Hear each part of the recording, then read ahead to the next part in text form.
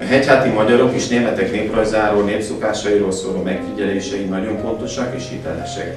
Bár jelen nem tudott lenni, levélben írta meg az alkalomra szánt beszédét Pesti János nyelvész professzor, a Völgységi Tájszótár társzerzője, amelyet Máté Gábor, szintén a könyvszerzője olvasott fel Bonyhádon, a Völgységi Múzeumban megrendezett könyvbemutatón. A közel 600 oldalas szótár 2018-ban készült, és a Völgységi patak felső vízvidékén fekvő hét falujának kifejezéseit foglalja össze. A könyv azt a jellegzetes helyi tájnyelvet mutatja be, amely a paraszti világgal, bányászattal kapcsolatos.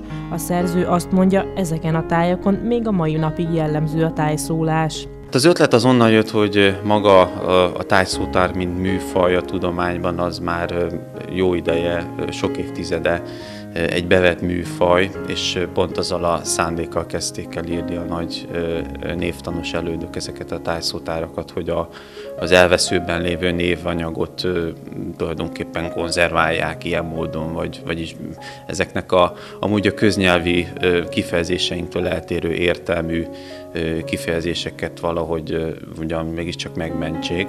Tehát ez egy régi gondolat, és hát úgy látszik, hogy még mindig van aktualitás ennek a gondolatnak, mert még vannak olyan vidékek Magyarországon, ahol nagyon érdekes és a köznyelvtől eltérő értelmű kifejezéseket, vagy más hangzású kifejezéseket lehet gyűjteni, és ez, ezeket próbáltuk összegyűjteni ebbe a tájszótárba.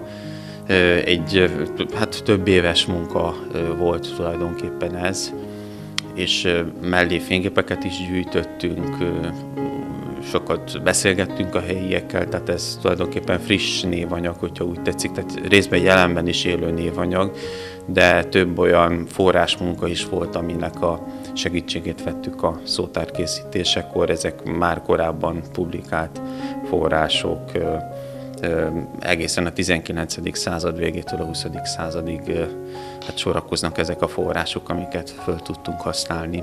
Büszkeséggel tölti el a szerzőket, hogy a kötet nagy népszerűségnek örvend, hiszen már 400 példányt nyomtattak belőle.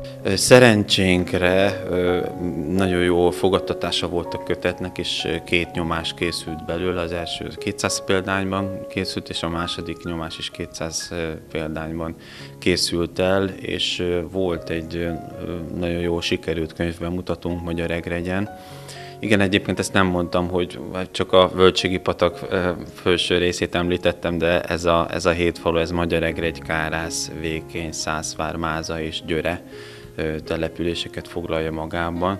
Egregyen volt ez a könyvbemutatónk 2018-ban, és ott egy Solyom László volt köztársasági elnök úr is megtisztelt minket a jelenlétével, mert egyébként ő volt az, aki anyagilag patronálta a könyvnek a megjelenését amit ezúttal is nagyon köszönünk neki.